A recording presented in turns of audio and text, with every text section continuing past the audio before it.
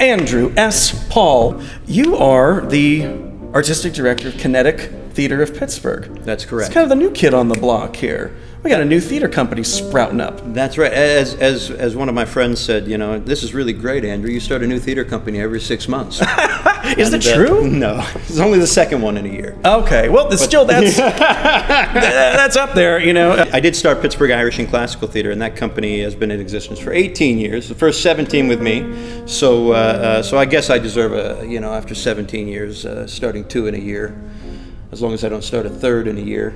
So you have you have planted things that have taken root and grown. So that's on your That's resume. correct. And now we have Kinetic blossoming uh, with its uh, inaugural production, Romance, by David Mamet. Which you know, I, I, I those two, David Mamet and Romance, in the same sentence. He's like the least romantic person. Well, right. so, what can you tell me about this play?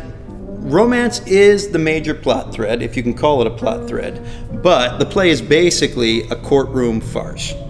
So, a courtroom farce called Romance by David Mamet. It, it just seems completely. And I think we need to mention that, you know, I am not just putting you on trial in this interview. We're on set.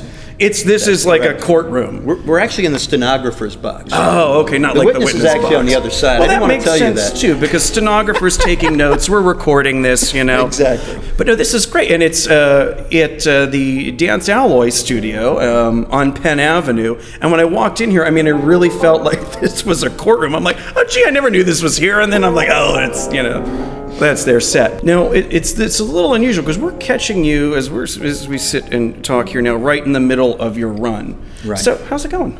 It's going great. Yeah? it's going great. The the the, the show is uh, is a very wacky play. So it's not to everybody's taste because it is full. Who doesn't like wacky? What do you mean it's not to everybody's It's taste? very politically incorrect humor. However, Oh, okay, yeah, yeah. it is humor and it is pretty hilarious, and uh, and people find themselves laughing despite themselves at this play. Well, I mean, you look at your your your poster. It's uh, um, yeah, a, a- a lawyer with a leopard print uh, briefcase satchel, wearing no pants. So, um, Pretty much says it all. if you're right? crying at this, it's going to be from laughter, probably. That's right. Tell me about directing Mamet. Is is there a certain approach you got to have? It's really technical. Yeah. I mean, Mamet is kind of like Beckett and Pinter in that he basically he, it's, he's like a musician. He scores his plays, and so you really have to pay very close attention to how he structures the beats and the jokes. And the cast has to sit around, and we spent a long time kind of chewing this play over because the play is is really absolutely structured like a chamber uh, piece of music, and and each each each one of our musicians, each one of our actors, performers, uh, has to play their role to kind of create the overall effect. And you'll kind of see this when you see a performance of the play because there are sections of it that are absolutely tightly structured that have to be played like a piece of music. Now, I have heard a rumor. Okay. Is it true that you are bicoastal? I am bi-coastal, and that's uh, that's a that's a strange uh, uh, position to be in. Oh, yeah? And uh, basically, my wife is a physician, and she I actually met her here. Uh, she uh, did her residency and her fellowship with uh, at, at West Penn, and then at Allegheny General. I think if people are looking to meet physicians, Pittsburgh's a good place. place. Yeah. absolutely. She ended up getting a fantastic opportunity in the Southwest, which is a very large. Uh, she's a nephrologist, a kidney specialist, and, and the largest kidney private practice in the country is split between Phoenix and Las Vegas, and she's working for that firm, and it's it's a it's a it's a great place to work. And uh, Las Vegas is like living on Mars. It's a very strange place. How so? I mean, like how so? Like Mars? I know it's strange, but I'm thinking like, what is Mars like? Because it's just in the middle of nowhere and it's all desert. Yeah, it's all desert. You wonder, it's not really fit for human habitation. People shouldn't be living there. There's I didn't no think water. anybody really did live there. Well, that people just came and spent money and you know did other So things. did I. So what's Pittsburgh got over Vegas? Pittsburgh has arts and culture. Vegas has showbiz Uh. and gambling, but they don't really have arts and culture.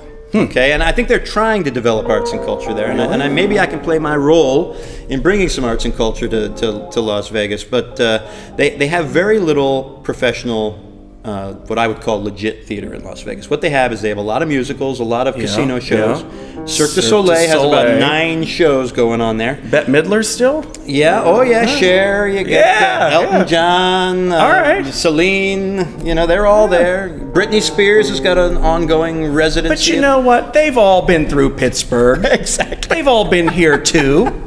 And we've got a casino now. So, you know. You don't need Las Vegas. Exactly. I get the impression you enjoy the business end of the theater. Is this true or I is do. it? I do. Yeah. I'm, I'm kind of nerdy. I really like to study numbers and everything, and, and so I, I, I, spend a lot of time poring over lists of donors and, and ticket sales and emails and trying to figure out, you know, where your audience is coming from, who you should be marketing to. Why can't we get more people like that? And uh, you know, I, I find that really fascinating. And I've always, you know, I've always uh, had an interest in, in the business side of the business. But luckily, I'm an artist too, so I can I can combine both It's a nice both balance. parts. Exactly. So, with that in mind, what then is your approach to choosing future shows for Kinetic? Well, it's uh, obviously I'd like to do. I mean, my forte really is is actor-driven plays of ideas, and I like to do plays that have nice ensembles of roles for actors, so that you can. I mean, this company is a perfect example. Romance is a cast of seven. Every role is a gem. Everybody contributes to the whole. Like I said, it's like a chamber ensemble, these seven guys, and they work beautifully together. And that's the type of work that I do well. And so, you know, I, I want to keep doing uh, these sort of ensemble based plays. The question is, how big can I produce? Because uh, it took me a while to build up Pittsburgh Irish and Classical Theater so I could do the huge classical plays and afford to do them. Uh, you know, they, they have this joke in, in, in the theater. The, the guys that founded this very successful theater in London, the, uh, the Almeida Theater, uh, they, re- they retired after like 10 years on the job. And these two guys, it was uh, Jonathan Kent and Ian McDiarmid. I'll never forget it because somebody asked them, I said, Well, your theater is so successful. Well, what are you retiring for? You guys are not, you know, old, you know. And and uh, Jonathan Kent's response was, well, what people don't realize is even when you're successful, you're always two flops away from bankruptcy. Huh. And I think that's a really telling comment because I think that uh, that is the nature of almost every theater I know. You cannot afford to have consecutive uh, uh, uh, plays that do extremely poorly at the box office, or you Yeah. are dead in the water. And so you, you're pretty much you can afford to have one turkey, and we all have our turkeys in our past, but uh, you got to pretty consistently line it up and hit it out of the park. And I think that's one of the problems with choosing plays. And I think that's why, uh, you know, if you look at the, the repertoire in the American theater, I think it's, it's become increasingly uh, uh, limited and pared down. It's smaller cast, it's single unit Oh, yeah. set plays. And That's economics. I mean, yeah, exactly, people are and- writing for an economics. that's it. And the same and, and the same plays are being done again and again and again all over the country. And you think, okay, well, can't people get out of this this sort of mindset that they're in and think outside the box and put some stuff on. I mean, you look at a play like Romance, and this is a play. You can see why this play isn't getting a lot of air in the in the American regions because, I mean, Mamet is making fun of Jews, he's making fun of Muslims, he's making fun of conservative Christians. He's, I mean, nobody is getting spared in this play. well, at And, least uh, he's, you know, an equal opportunity insulter. Ex- exactly. So nobody should be offended because he's offending Right. everybody. Right. But at the same time, you can see why somebody who's a bean counter at one of these theaters will look at that play and go, "Good God, I'm going to offend half my audience if I put this play on." No, that plays out. I think we have to laugh at ourselves, though. I mean, isn't that kind of why we go to the theater? Is in some way, shape, or form to see ourselves? You know, I, I completely agree, and uh, you know, I like to think of, of, of life as a comedy. I mean, Chekhov is is my favorite play. if we didn't, we'd cry. Exactly, and and uh, you know when when when life gets it at its lowest point, where where you're feeling that it's the most absurd, it's when you laugh the hardest.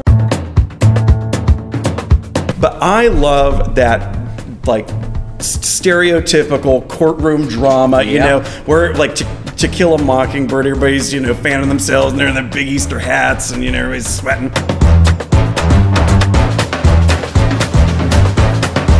Here, I'm really loving this. And in a minute, I'm going to go sit in the judge's seat because I've always wanted to, you know, be there too. That's the place to be. He's got Um, the comfy chair too.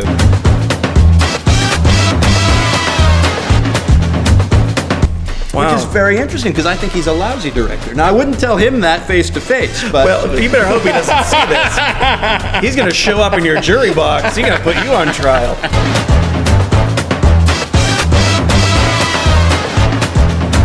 Now, is there a possibility of in the future taking a kinetic show from Pittsburgh and touring it over in Vegas? Absolutely. You just need to put everybody in sequins and feathers, and you got it. You, you, that's it.